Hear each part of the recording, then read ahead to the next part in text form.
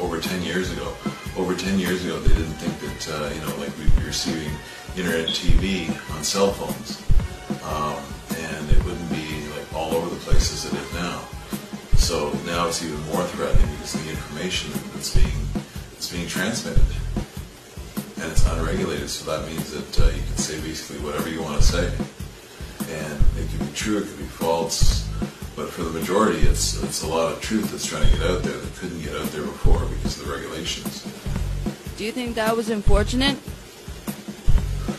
Well, the market was definitely created with internet television, where um, people could do their own like backyard TV productions and things like that. Like, um, you know, you wanted to see yourself on, on the internet, or you wanted to see, you wanted other people to see you.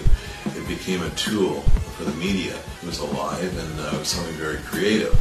Well, in, uh, in the olden days, you had to um, you had to pretty much beg, borrow, and steal, or do whatever you, you could to get airplay for your video or to get airplay for your song on the radio.